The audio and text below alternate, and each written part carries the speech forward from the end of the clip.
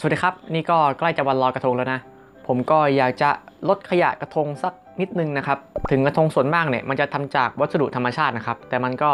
เป็นธรรมชาติไม่ร้อยเปอร์เซ็นต์นะครับ มีทั้งเข็มทูบเทียนเหรียญอะไรพวกนี้นะครับ แล้วถ้ามันมารวมกันเยอะๆเนี่ย มันก็จะกลายเป็น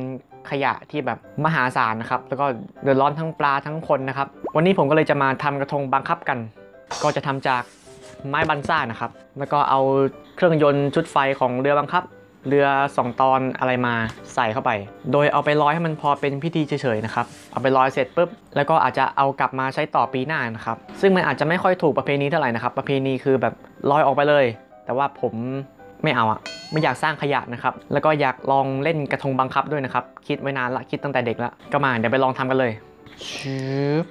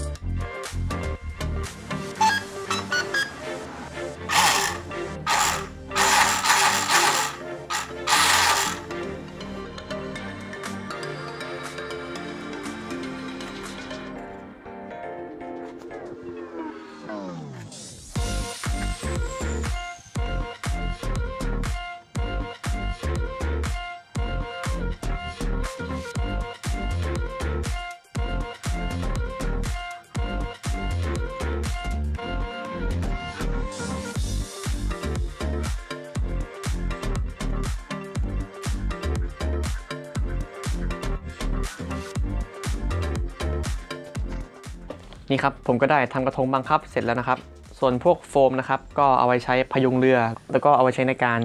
ปักทูบปักเทียน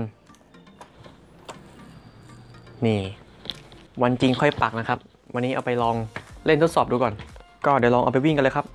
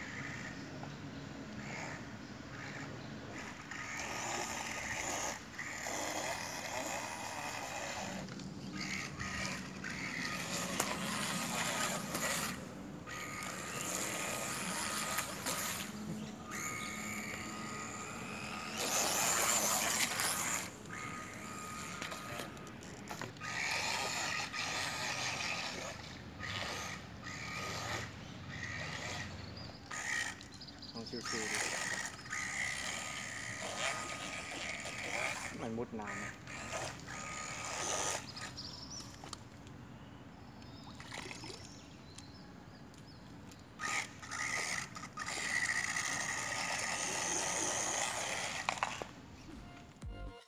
ครับหลังจากที่ได้ไปลองเล่นกระทงบังคับลำนี้ดูนะครับ คือมันไม่สามารถวิ่งแรงๆได้นะครับ เพราะว่ากระทงเนี่ยด้านหน้าเนี่ยมันเป็นแบบมันไม่เชิดขึ้นนะครับ มันไม่เหมือนทรงเรือพอเวลากระทงมันขึ้นน้ำเนี่ยมันก็จะปักน้ำเข้าไปนะครับ มันไม่สามารถไหลไปได้